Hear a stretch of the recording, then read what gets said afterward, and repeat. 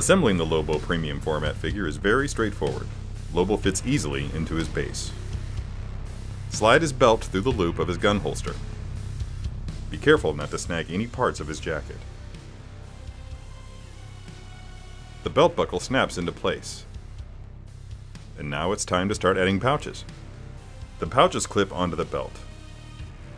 Lobo comes with an assortment of different size pouches, which can be placed on his belt in any order you like.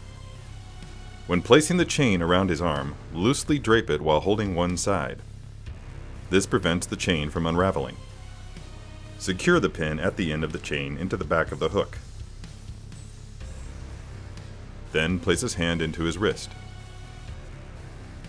The BFG hand has a pin, allowing for greater stability and preventing the heavy gun from falling out of the wrist socket.